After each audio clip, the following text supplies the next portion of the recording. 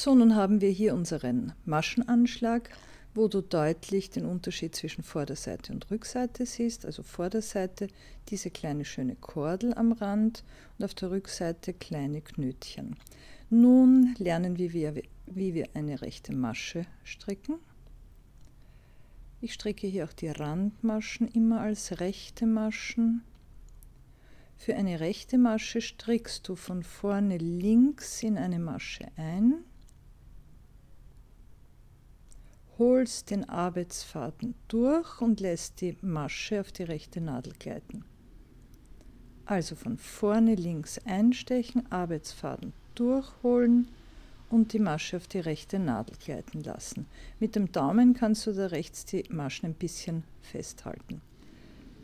Von vorne links einstechen, Faden durchholen und die Masche auf die rechte Nadel gleiten lassen. Wenn du das ein wenig übst, dann wirst du sehen, dass das ganz rhythmisch und gleichmäßig funktioniert. So, ich stricke nun ein paar Reihen rechter Maschen. Auch die Randmaschen stricke ich genauso ab, sowohl auf der Vorderseite als auch auf der Rückseite.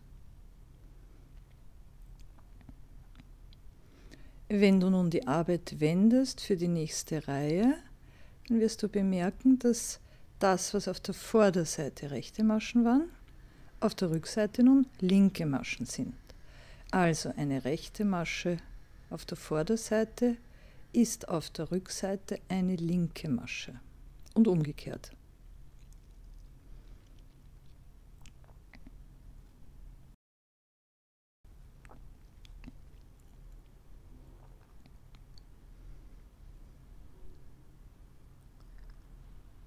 Und wenn du hier genau schaust, dann kannst du schon erkennen, dass die Reihe rechter Maschen, das sind so kleine Vs, wo der Faden jeweils rauskommt. Und eben auf der Rückseite siehst du diese kleinen Knötchen, die typisch sind für linke Maschen. Nach ein paar Reihen erkennst du ein Muster und das nennt sich Kraus rechts. Und wenn du genau hinsiehst, bemerkst du, dass es eigentlich sind das Reihen aus rechten Maschen und linken Maschen abwechselnd. Im Englischen nennt sich das ein Garter Stitch und wir nennen das Kraus rechts.